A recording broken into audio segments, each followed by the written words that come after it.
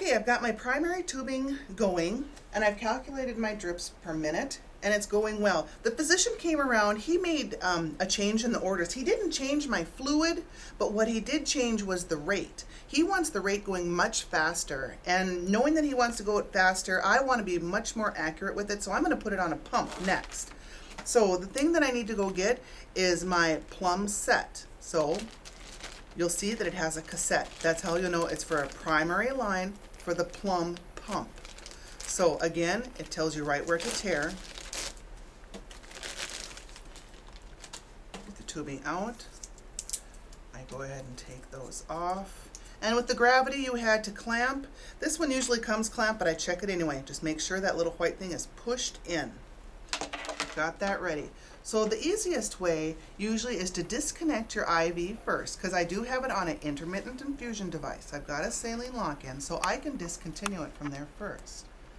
So I had this secured down well.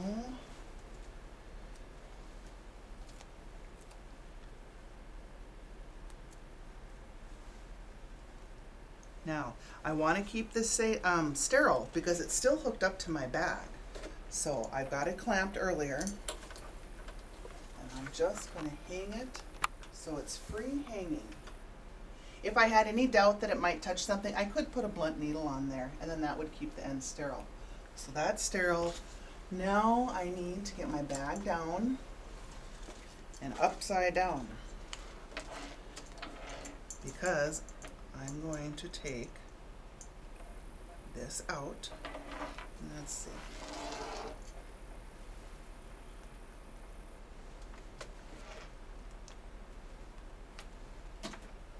And again, I need to go straight down, not to the side, or you puncture the bag. I've got that locked. Out of the way.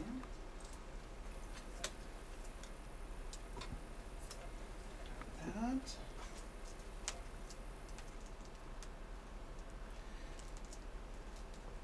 And of course it gets tangled.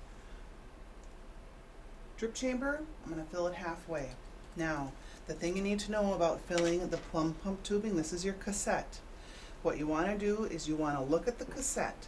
When you're looking at it, the blue is down, and when you look at this portion here, those of you from Minnesota, you'll see it looks like the state of Minnesota. That's what we want to fill first. Minnesota is looking at you. It's not upside down, but it's looking right at you. So, remember we pushed it in to clamp it, so we're gonna pull this out to unclamp it. And you can regulate going back and forth how fast or how slow. Now it's filling up, got to the top. Now I'm gonna fill the Great Lakes. And it filled. I'm just gonna speed it up again by turning that white. It will speed it up.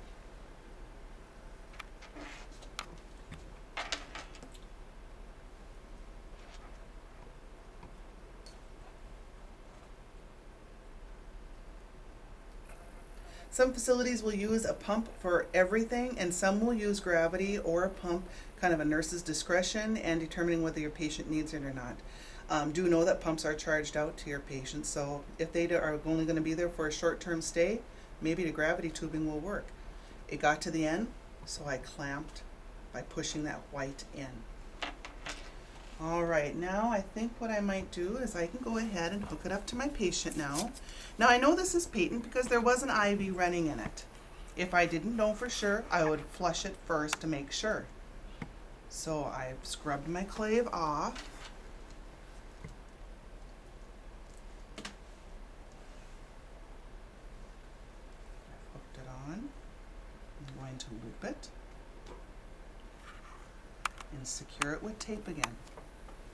I might get new tape, but this is handy, so we'll just use that for now.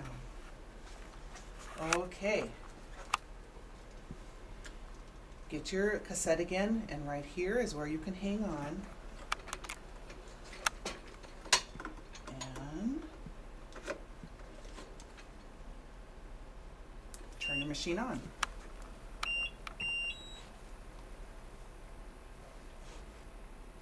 Self-test will appear. And you're just waiting for that. It's checking to see if the cassette was primed correctly.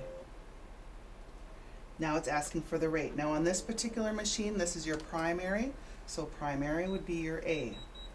So A, I recall that he wanted a thousand milliliters in eight hours, but then he switched the order, he wants it two hundred mils per hour, and that's why we were putting it on the pump. So two hundred mils per hour. The next column there is VTBI, volume to be infused. So um, regardless of what size of bag you have, the rate is always the same, but the volume to be infused depends on what size of bag you have here. Whether it's a bag that has 2,000 milliliters or 1,000 or 500 like this. The key is that I don't want my bag to go dry. So um, a safe thing to do is since there's 500 milliliters in here, I would probably set it at 450. That gives me some time to go to the Pyxis, get a new bag, check it with the orders, bring it in here. And at the same time, I might have two call lights on. I might be assisting with doctor's rounds. A lot of things that you're doing. So give yourself some leeway. So 200 mils per hour, my volume to be infused will be 450. This machine figures it out. It'll tell you that in 2 hours and 15 minutes, it'll be done and it will beep. And that tells you, get another bag up. Then I would just go ahead and push start. The only other thing, I've got my bag labeled. I'd make sure that I labeled my tubing. And I would go ahead and chart also. I'd chart that I put new tubing on, how much fluid I hung, the rate it's going, the condition of the site, if there was any complications I saw. And that's all that I would have to do.